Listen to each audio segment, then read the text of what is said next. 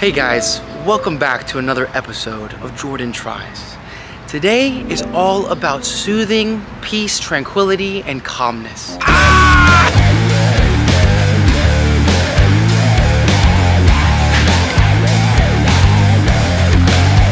We're trying something new, the Smash It House. So if you have stress in your life, this is a nice and soothing way to kind of soothe that over. So let's go into today's video, have some fun.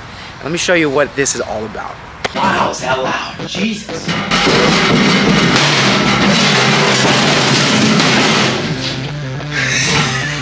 That is insanely loud, dude.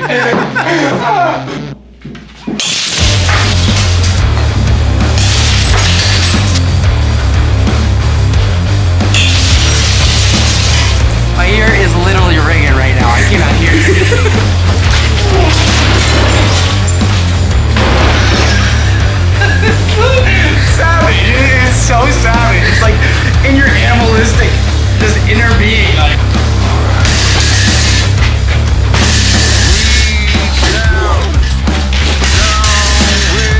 I gotta tell you guys, to be honest with you, this is the most stress relief I've felt in a very